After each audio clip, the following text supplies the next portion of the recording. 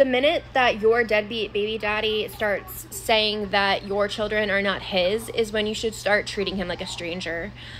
Uh, that that's dangerous. That's a that's a heinous thing to say when that man knows that the child is his and he starts telling his side pieces that that's a bitter you're you're the baby mom is bitter that's not even his kid uh, you know uh what all that all that shit talk like i would never disown my child to get some dick that is weird that is uh, I think honestly that sounds uns- like an, unsafe person.